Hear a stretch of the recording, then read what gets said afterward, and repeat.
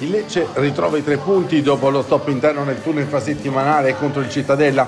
Tre punti che permettono ai giallorossi di ritrovare il primo posto e allungare in classifica su Como e Pisa.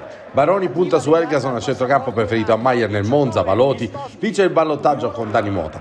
Pronti via e già al sesto il Lecce va vicino al gol con il palo colpito da Listoschi. La conclusione del polacco batte tutti tranne il montante alla sinistra di Di Gregorio.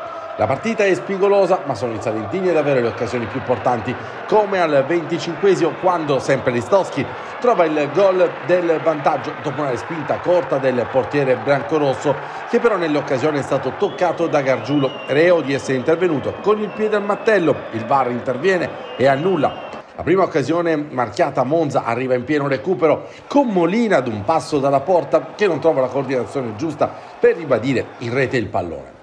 Al 54esimo Elgason sfugge alla marcatura di Paletta che però lo stende al limite dell'area di rigore dal dischetto. Coda non sbaglia e porta in vantaggio il Lecce firmando il quattordicesimo gol di questa stagione.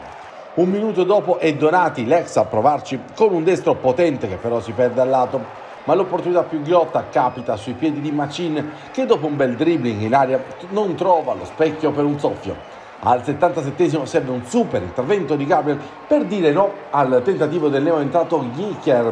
L'esterno difensore brasiliano con la mano sinistra respinge la conclusione del polacco. Mette il Monza pressa, il Lecce nel recupero trova il 2-0 con Pablo Rodriguez.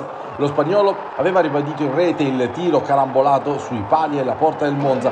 La posizione però dell'ex Real era irregolare. Finisce 1-0 per il Lecce che compie un passo importante verso la Serie A e guadagna punti sul Brescia e sul Pisa fermati in questo turno di campionato e allora adesso è vetta insieme alla Cremonese a quota 49 punti.